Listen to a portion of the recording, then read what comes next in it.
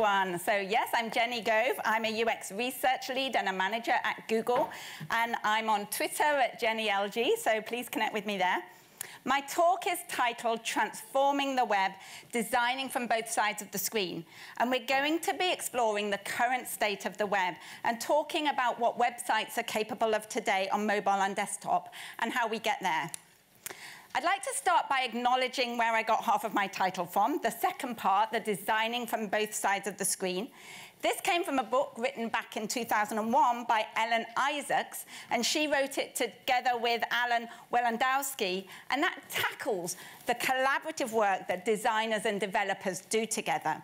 She gave me her support to use this phrase at my request because I think it's very important what, on what I'm talking about today, about creating modern mobile web experiences and creating progressive web apps. So why the web? Well, I'm a real fan of the web because it's an open ecosystem where links can be made between the nodes out there where people can traverse from one node to the other just at a click of a button. It enables people to explore and search, and it enables people to discover. Now, as you know, the web started in the early 90s. And the major stores for native apps, they came along a lot later, 2008 and 2012. The web began when this technology, the smartphone, that is really well illustrated in this picture as being so pervasive in our daily activities, it didn't exist. But when the web began, the most sophisticated of mobile phones looked a bit like this. Certainly didn't yet have the internet. We've come a long way. And it was these computers that we use for accessing the web at our desks which was really the only place we accessed the web. So the web was built for desktop originally, and in contrast, when native apps were built for mobile, they were a whole new thing. there's no ultimate technical barriers to displaying desktop websites on mobile. It's a platform that can transverse devices as long as there's a browser present. Um, websites themselves don't need to be installed, of course. In contrast, apps had to be written from scratch. So in terms of user experience on mobile, because apps were written specifically for mobile, this raised the user experience bar.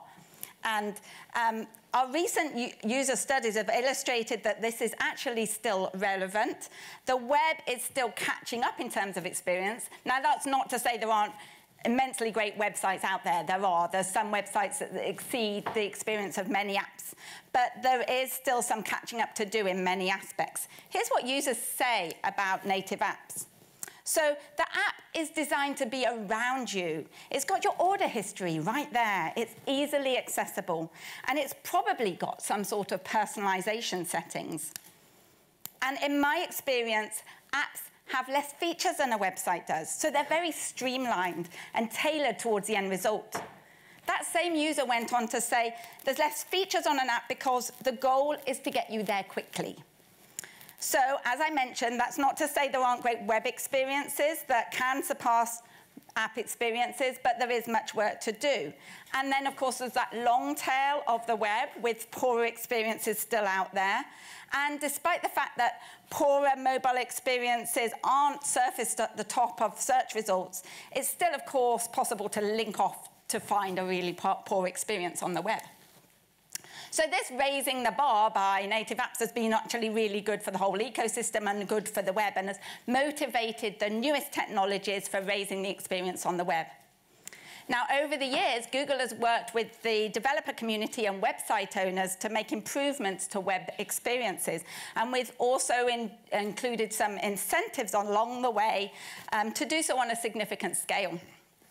So one of the things that we did was to add mobile-friendly labeling to sites to give users confidence that there would be a usable website at the end of that link and to encourage companies to do that work to make that happen. This was launched in 2004, and we had certain criteria that we wanted. So we wanted to avoid software that wasn't common on mobile devices, like Flash. We wanted to use text um, that, wasn't, that didn't require zooming. We didn't want to see pages that scrolled horizontally. Remember all this stuff? Um, and we wanted links to be placed far enough apart so users could click them easily. We were able to take that away in 2016 when 85% of the pages became um, much more sort of mobile optimized. And we've taken mobile optimization into account in page rankings. A big change to this was in 2005, and the press termed it Mobilegeddon, and there was a lot of concern. But in the end, it was implemented without that much of a hitch, and it brings significant benefits to the consumers and company alike. So if a company optimizes their website for mobile, the user is, of course, more likely to convert. So it's kind of like a win-win. The experience will be better. And because of this, Google uses this as one of the many things that they take into account for search rankings.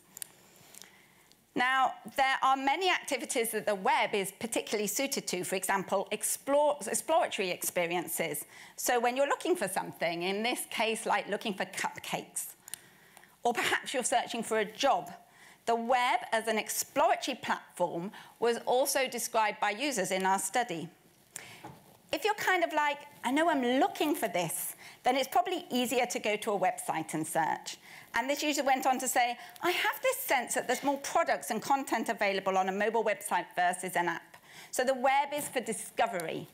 People use apps particularly for very frequently occurring activities. We heard that time and time again in our studies. Examples might be parking apps or directions or commuting apps. Entertainment and media, as you all know, is, is, is very prevalent in native apps. And, me, and apps like the news for the weather and music. But if you're doing something like making large one-off purchases, you're probably unlikely to download many apps to do that. If you're in an exploratory mode, you're more likely to use the web. Now, not only have we actively worked to improve online experiences over the years, for example, advising on tap size, um, font size, creating auditing tools to assess mobile optimization. But there's many folks working on browser experiences from a variety of different companies that have been developing technologies to underpin modern web experiences.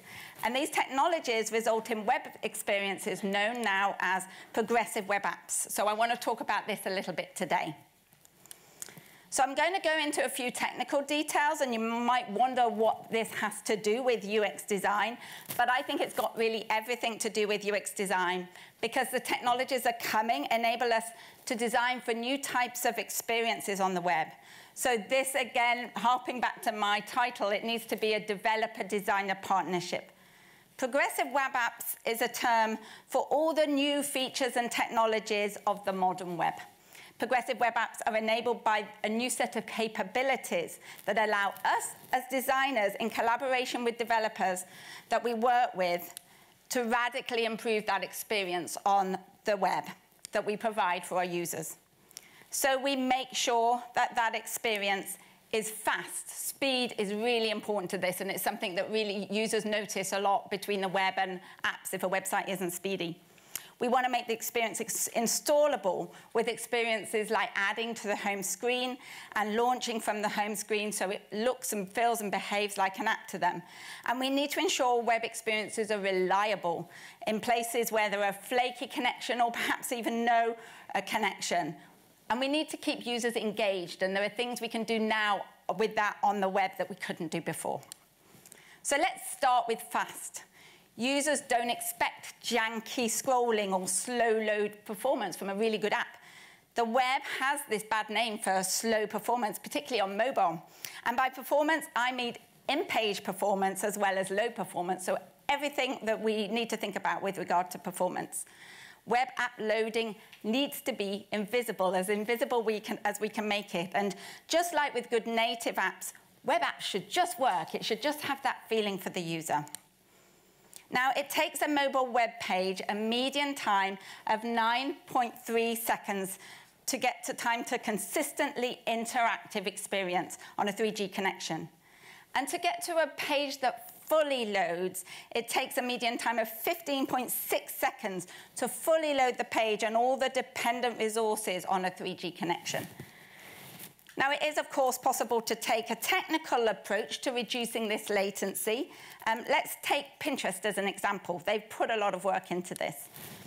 So on their site, Pinterest was able to reduce their loading time for what we call first meaningful paint on the screen from 4.2 seconds to 1.8 seconds, and time to interactive from, 30, from 23 seconds to 5.6 seconds.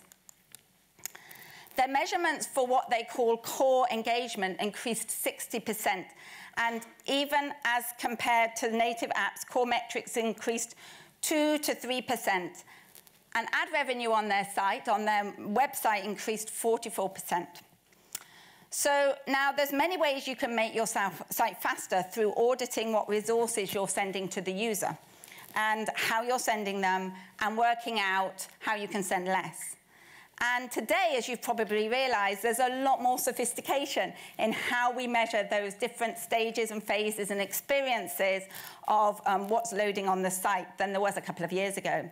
So here's an example from a tool that we have called um, called Google's Lighthouse tool, and it uh, shows different types of performance me me uh, metrics, things like uh, first contentful paint, time to interactive, and there's these tools available for you to use in, in collaboration with your partners in your companies.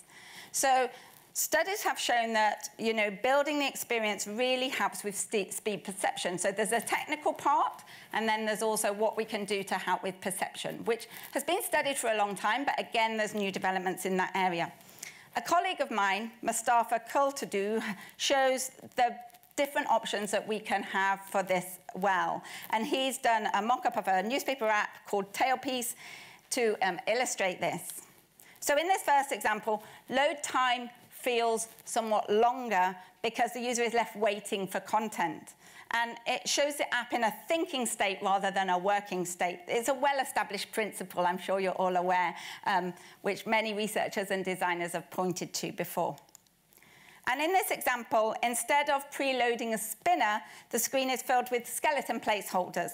It's better than the previous example, um, used on its own in place of a preloader. It still isn't great because it still gives that feeling that there might be an error and doesn't show any context for the type of content that's coming. But we can use a mixture of skeleton screens and contextual metadata and pixelated images that partially load. And you can occupy a lot of the user's time and make that whole experience feel faster. So, so this is something that we as UX community can get very involved in. The idea is to give context to the user of what's coming, what's loading, as we load things in as quickly as we can on the technical side. So we call this um, staggering the load content. So one of the major principles to take away from this is displaying a system that's progressing instead of processing, right? Um, so instead of showing a spinner, brief animations can mask the loading transition to imply that that system is progressing rather than processing. And my colleague has some more design tips. So there's a great Medium article out there called Hacking User Perception that I'd strongly suggest you take a look at. Now, we understand that for some web apps, it's important that they have the same behavior as other installed apps. For example, they need to appear in the same places that other apps do on the phone and launch from the same place. They need to act in the same way. There's really no reason why the experience can't be the same for an installed app as for installed web app as an, an installed native app. So in terms of integration, now, when a user visits your site, you can prompt them to add the site to their home screen. A great example of this is Trivago, the travel app. They launched their PWA for their progressive web app for 55 different domains globally. And you can see here when you tap Add to Home Screen, this hits your screen immediately. And when it's added to your home screen, it's now integrated on your Android device. It's displayed in the app launcher, just like your other apps are and it's part of your overall Android settings as well. So you can see that the web has become fit for the possibility of providing really great user experiences, tightly integrated with the platforms they're on and the hardware capabilities. But users need better reliability as well to sort of trust web pages and web apps. With PWAs, we make sure that the experience always works because when it doesn't work, or it loads too slowly, then it breaks that user experience and really destroys that trust. So creating a reliable experience is really crucial. When a user taps on the home screen icon, they expect it to load instantly and reliably. That's what they're used to. So we've become used to always being online, right? So as much as I like this uh, cute little dinosaur, we call him the downosaur often, um, you know, we should never really see him. Imagine getting a system-generated error from an offline native app. That would seem crazy, right? And it's not just no connection that breaks the user experience. Slow and intermittent connections can be even worse. We kind of call that the Lie-Fi experience. So even when, where I live, San Francisco Bay Area, believe it or not, there are areas with you know, poor cell coverage. And around London, too, you find some areas with poor cell coverage or no connectivity at all. There are many people, even in the Western world, that still use dial-up. And there are many regions that will still be on 2G until the 2020s. So it's something we need to think about and test for. And likewise, broadband um, infrastructure is poor. Many people in the United States don't have access to broadband, uh, fast broadband. And we see a similar picture in many other regions. So there now exists, though, a technology called service workers. It's written in JavaScript. It's a client-side proxy that acts as an intermediary between your web app and the outside world. And it can cache resources to ensure a really reliable experience, no matter what the network connection is, because resources can be pulled directly from the cache instead of from the network. So it also means your app can work even when there's no network connection. So this is something we need to start thinking about in our community. For us as UX professionals, we will need to start designing for offline experiences for the web. That's a whole new realm for us to explore. Um, what is it that we want to achieve for our users when we're designing for offline web? What do we want to achieve for our companies when users get to them when they're offline or in places where there's flaky network connections? So these service workers are part of what's the core of what a progressive web app is. And they also enable push notifications, which I will um, talk about in a moment as well. Now, Trivago, that I mentioned before, shows that an investment in the uh, reliable experience really pays off. Um, Trivago used Service Worker to build a really resilient web app. And the Service Worker and the Cache API meant that the network resilience is becoming the norm for high-quality web experiences. And successful sites like Trivago really embrace that. Their PWA is providing a very, very great business value to their company. Um, a huge increase in click-throughs to hotel offers was achieved through this. And a truly engaging app though, needs to go beyond being functional and reliable and ensure that a whole experience is delightful and makes it easy for the user to do what they want. So an engaging experience starts at the very beginning with a very delightful first run experience, right? That first experience has to be great. It continues throughout all of your user journeys so that they all work perfectly without any friction. An engaging progressive web app, it uses the magic of the web. It's indexable, it's searchable, it's linkable, and it's shareable. The experience is timely, the experience is relevant and precise because it accounts for the user's context and what matters to them right now. Making an app engaging ranges from basic experiences that are imperative to get right, that we all try to get right as designers and researchers, um, and this includes asking for permissions only when you need it, not as soon as the user opens the app, and asking people to sign in and sign up at the right time when they're appropriately invested and there's something in it for them, not just for the business that you're running. Another user experience to design, to design for now that's possible, I mentioned before, is push notifications for the web. So this example from Twitter illustrates push notifications with Twitter's progressive um, web app, which I, I, all suggest you try. It's a really great progressive web app. Um, of course, we need to be, we of all people need to be conscientious and mindful when we design for schedules for notifications. We know how much harm they can do as well and what, how much damage. Um, but taking all that in mind, and you know, there's some good research out there on how to do that, what this does provide is ways for businesses who are on the web to re-engage with people in ways that they haven't been able to do before. And of course, another basic experience is, we've talked about it for years in the UX community, removing friction in forms. Many presentations have talked about this a lot before, but there's still plenty of poor experiences on the web. A recent audit that we conducted in Europe on over 400 top websites found that 42% of the top sites from 15 different countries didn't show the appropriate keyboard. It didn't display it for the input type. So as you know, that causes friction. It's best practice that's been out there for a long, long time. And we also found that 27 sites didn't clearly identify which fields in the form were optional. So there's a lot of issues with that. Users might be just overwhelmed with the number of fields, or they might be trying to fill in a field that's just absolutely not applicable to them, and it might cause them to give up. So a lot of errors we see with forms can be overcome by use of and proper implementation of autofill, of course. So on the topic of integration, let's touch on new capabilities for integration for e-commerce.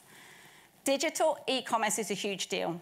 Last year, it was worth 2.30 trillion globally, trillion dollars globally. Mobile commerce accounted for about 58, 59% of that, but it's still a really fundamental challenge for the mobile web.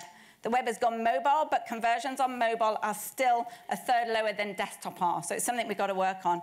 And it's because it's hard, it's hard to enter data on the phone still. We need better integration and e-commerce experiences. It's what I'm working now on at Google, actually. It's all about removing friction.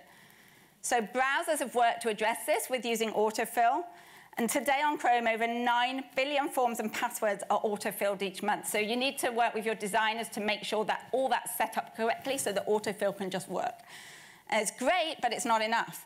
Other experiences that are important to get it right are payment experience. They need to be quick, easy, frictionless, make it easy for our customers to give us money. The Payment Request API is a W3C standard for browsers to provide an interface for users to enter payment and shipping data. And the whole point is to enable users to have really consistent experiences and for developers not to have to reinvent the wheel with this. So from whether you're like a, a tiny, you know, small business up to a really giant e-commerce store. And we're going further than this in Google, as you know. Um, we're trying to make that situation where conversions are lower on mobile not be the case. We've released a payment solution that companies can use Google Pay. Um, the whole idea is it enables fast seamless checkout. It's a seamless, smooth experience, providing easy access to rewards and payments, and one spot for purchases, passes, and payment methods. Again, it's kind of meant to be a win-win, right? We're trying to make it easy for companies and easy for consumers as well. So making sure that the user experience basics that I've talked about are good, as well as making delightful experiences, perhaps personalized, context-dependent experiences with a web app uh, really engaging is critical. So at Google, we're working on creating progressive web app experiences that really scale. To give you an example of this, Google Search uses a PWA to make it possible for users to ask questions when they're offline, and then the answer comes on when they're back reconnected. That uses service workers, um, background sync, and also push notifications to let them know. By using service workers, they're able to reduce the number of external JavaScript requests by nearly 50%, make, keeping things fast, right? Reducing the number of user interactions um, delayed by loading JavaScript by 6%. So that's all about speed there and also keeping the user engaged. Bulletin is an interesting new way to create and share hyper-local stories, again, built around a progressive web app. It's a really tiny fraction of the size of a native app and has 100% of that functionality. They do some really neat stuff with media capture APIs for users to capture the moment and share things as simple as sharing an URL. So there's all sorts of media capabilities now available on the web that I'm not going to go into, but that's a really exciting uh, place to explore as well, you know, with what we can do with camera, with not, what we can do with VR and AR now on the web as well. The Maps team recently shipped a progressive web app. They saw progressive web apps as being a radically new way to improve their experience for users, specifically on low-end devices or in limited or flaky network um, connection scenarios. So many of their users were getting a light mobile experience, and those things really didn't take advantage of um, the new technologies of the mobile web, so that's why they did this. So for the, for the Maps experience, they don't provide feature comparative with the native app, but they center around these four uh, core use cases that I'm showing you here. They wanted to make it easy to enable their users to see location and nearby landmarks, to get a sense of where they were in these areas with low connectivity, make it easy to find places or search for places on a map, make it easy for users to see what's near them and discover new places, and make it easy for users to get directions to places they weren't familiar with. So it would be great if all these improved experiences are available to users no matter what browser they use. If the browser supports it, then designers can design for it and developers can build for it. And this is becoming reality. So service workers are now supported in all these modern web browsers, including now Safari and Edge, which is relatively new. And we're adding support for all sorts of new capabilities to enhance the user experience. As you can see here, I mentioned before these new media capabilities, so that's something to check out. So that's the basics of progressive web apps, and it's exciting to hear how these are transforming the user experience. So let's take a very look at a very successful PWA that was launched by the team at Starbucks. It takes advantage of many new capabilities, makes it easy to browse the menu, customize and place an order. So let's see this in practice. So this shows clicking on an order brings up the menu. I can pick my chai latte and add that to my order. Um, and I can pick something else, Earl Grey black tea, add that to my order. And then I get to see like the um, result of that and check out using my Starbucks card, submit the order. And I hear now it's on its way with this, this information. So it's like really smooth experience in the, in, the, in the web app there. So your site not has to only load fast, it needs to feel like it loads fast. And Starbucks does this by using some placeholders until the real content is loaded, but they're working to do that very fast. Um, and so on fast networks or the, when the content's already been cached, so actually in this case on your second run, users don't even see those placeholders. This just loads. And another aspect of the fast experience is navigating between pages. Navigations feel fast and are fast. It feels like the page doesn't really reload. Um, navigation shouldn't rely only on the network, but instead everything should be pre-cached, as I mentioned. So in getting our apps to feel and behave like other apps installed on the device, um, users can add, and we can add the install button, and users can add it to their device, making it easy to access. And when installed, it launches from the same place as other apps. On, on, launch, it runs full screen without an address bar, and it's a top-level app and uses a task switcher. So when the user adds your PWA to their home screen on Android, Chrome automatically generates an APK, which we sometimes call the web APK. And that means your app shows up in the app launcher and in your settings, where you can see the amount of storage used, permissions, and so forth. To make it reliable, PW, um, Starbucks PWA uses Workbox with a combination of different pre-caching strategies and runtime caching strategies. This ensures the key resources are always available and served directly from the cache, so the users don't have to work, wait for the network. And then as the user uses that app, additional content is cached as they go along as an, and as they navigate the app, so they can go back to it pretty seamlessly. So while we can't place an order while we're offline, the PWA does make it possible for the user to pay for it in store, even when offline. So um, that's, that's a capability that we can use now, again, making this experience more seamless for the user. They focused on their user experience to make their progressive web app more engaging. Placing an order has to be easy for them. It's, it's critical for Starbucks, critical for their users. So the users can customize the drink with the many possible options that are available from Starbucks. So Starbucks paid attention to the fundamental details like the navigation stack, making sure the back button always does the right thing. For example, navigating down several pages, it navigates back up step by step. I'm sure you've seen these problems before, um, rather than jumping back to the home screen or some other random page. And to make the experience feel more alive, Starbucks uses content-specific animations and messaging to provide feedback to the user. So for example, after clicking to order, it shows a toast letting me know it's been added to my bag. So through creating a fast, reliable, and engaging progressive web app, Starbucks have put their customers first in developing an experience that meets the users where they are, in the context where people live, work, and play, to make simply a really convenient and delightful experience for people to order their favorite drink. So um, this has really paid off for Starbucks. They've, um, they, daily and monthly active users has nearly doubled from their previous experiences they had. Users are placing more orders through the web app, with the number of orders growing by over 12% week over week. And because Starbucks took a responsive approach and made sure the experience works nicely on desktop, they're seeing desktop users use web app to order ahead. And so their drink is ready when they get there.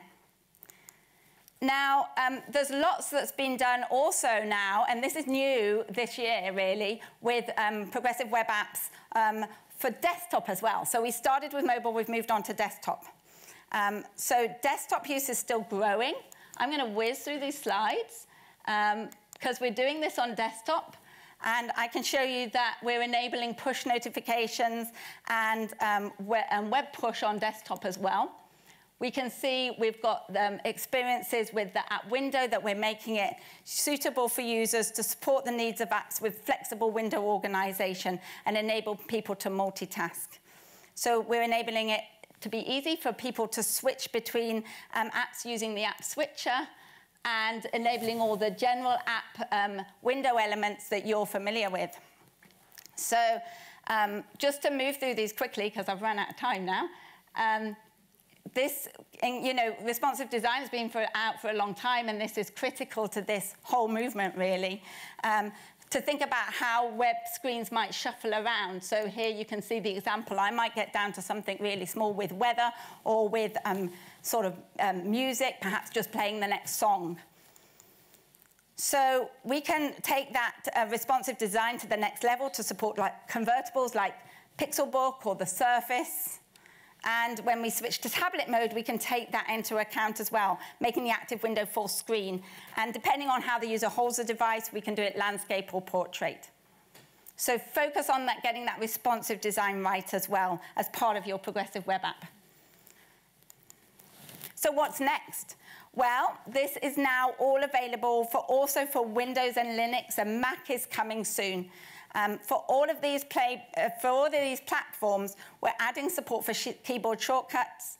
We're badging launch icons, so users, users can be informed about important events that full notifications might not be needed for. And we're adding link capturing as well, um, opening and install PWA when the user clicks on the link that's handled by the app. So all that's going to work.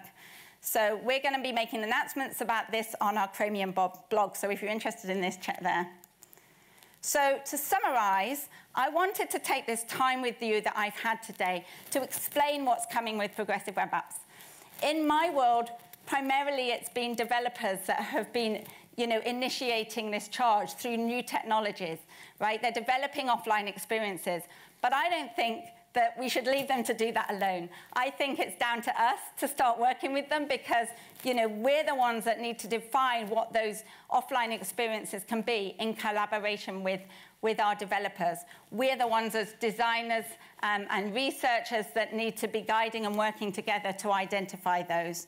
So if we do that together and design from both sides of the screen, then I think we can take these new technology advances in mobile web and really transform the experiences that people are having on mobile websites. And with that, thank you very much, and I'm looking forward to talking with you later.